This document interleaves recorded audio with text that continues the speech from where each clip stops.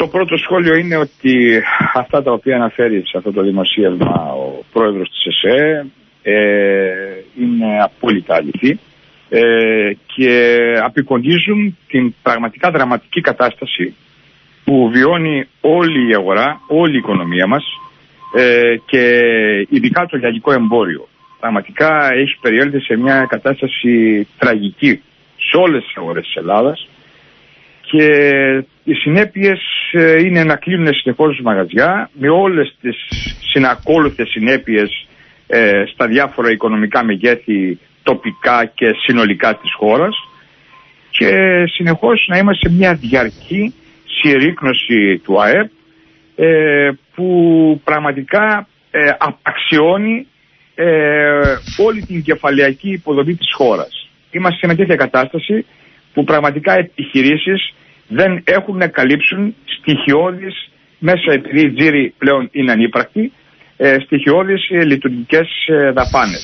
Δεν είσαστε από εκείνους που μασάτε τα λόγια σας.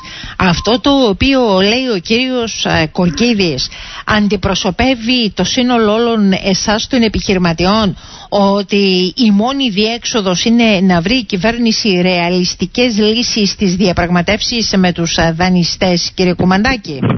Κοιτάξτε, ε, βέβαια να πούμε και την, ε, την ε, αλήθεια ότι ε, και η προηγούμενη κυβέρνηση ή οι προηγούμενες κυβερνήσεις ε, ήταν σε μια διαρκή αν θέλετε υποταγή εγώ δεν κρύβω τα λόγια μου έτσι, ε, στις πιέσεις των δαγιστών οι οποίοι με βάση ένα σχέδιο που θέλουν για τη χώρα και έχουν καθορίσει μέσα από το καινούργιο οικονομικό μοντέλο που εφαρμόζουν σε όλο τον κόσμο και για την Ευρώπη και ειδικά για την Νότια Ευρώπη ε, όπου η Ελλάδα πραγματικά είναι αν θέλετε η βάση πάνω στην οποία θα στηρίξουν αυτό το μοντέλο για να το εφαρμόσουν.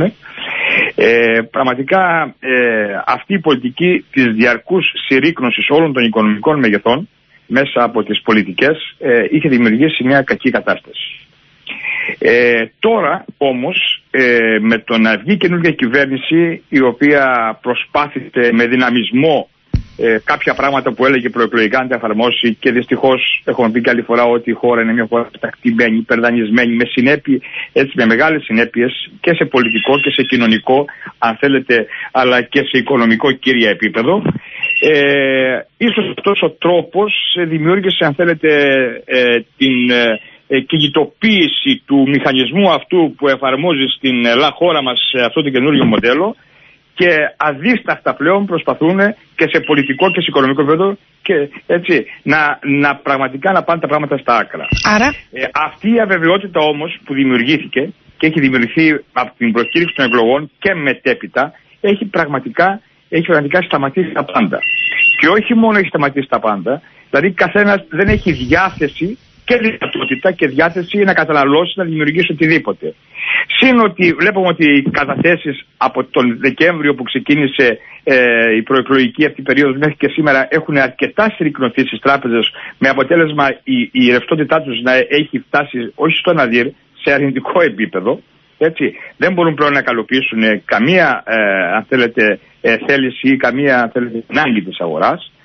Ε, το μοναδικός τρόπος πλέον που μπορεί να χρηματοδοτηθούν και λίγο να καλύψουν κάποιες στοιχειώσει ανάγκε είναι ο ΕΛ, αυτός ο μηχανισμός έκτακτη λεφτότητα, ο οποίος όμως και αυτός συνεχώς συνενώνεται το όριό του, διότι ξέρουμε πολύ καλά ότι η, ε, στην, στην ΕΚ το Συμβούλιο κάθε εβδομάδα συνεδριάζει για να ανανεώσει την, Από την άλλη βέβαια θα, θα σας ρωτούσε κάποιος κύριε Κουμαντάκη, παρακαλώ να το πείτε, ορίστε.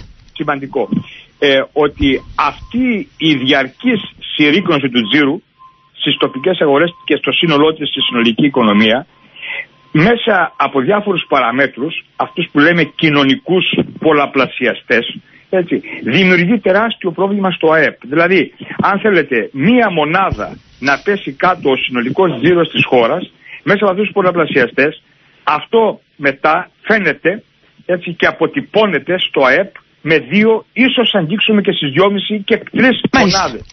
Έτσι. Φανταστείτε λοιπόν πόσο γρήγορα μέσα από αυτήν την, την συνεχή συρρήκνωση των οικονομικών μεγεθών και ειδικά του τζίρου, πόσο το ΑΕΠ συρρυκνώνεται στη χώρα. Στη Άρα χώρα λοιπόν μας. λέμε ότι μετά από αυτές τις ρεαλιστικές λύσεις στις διαπραγματεύσεις με τους δανειστές θα πρέπει να κάνουμε βήματα παραπάνω και να πάμε στην ανάπτυξη προκειμένου να δούμε και τον τζίρο να ανακάμπτει Μήπως, κύριε λοιπόν, Κομμαντάκη. λέει η αγορά, μήπως λοιπόν λέει η αγορά ότι πρέπει τέλος πάντων ε, ε, να βρεθεί ένας κοινός τόπος. Ε, δυστυχώς ε, με αυτές τις, ε, την, την, αν θέλετε, την ε, ε, επαναστατική λίγο ή αν θέλετε λίγο θορυβόδη τρόπο που προσπαθήσαμε να διαπραγματευτούμε με τους ε, δανειστές οι οποίοι καλώς ή κακώς έχουν το πάνω χέρι, αυτοί μας έχουν δανείσει, εμείς είμαστε δανειζόμενη χώρα. Έτσι.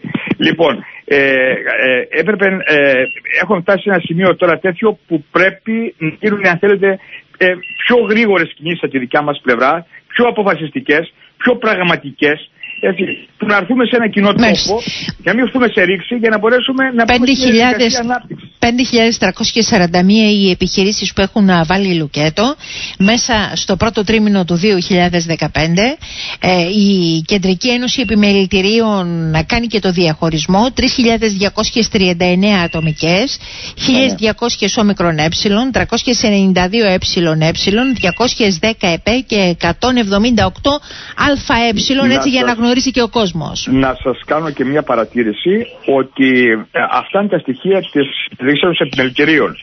Πολλές οι οποίες δηλώνουν και στην, στα επιμελητήρια ότι έχουν σταματήσει, σταματούν τη δραστηριότητά τους. Υπάρχουν και επιχειρήσεις οι οποίες σταματάνε τη δραστηριότητά τους ουσιαστικά, αλλά τυπικά δεν το δηλώνουν και στα επιμελητήρια γιατί πρέπει να χρειάζονται και κάποια χρήματα που δεν τα έχουν για να, κλει- να, σταμα- Σωστά. να, να- να κάνουν. και αυτές δεν αποτυπώνονται σε αυτά τα, τα μεγέθη τα οποία έχουν δημοσίευσει.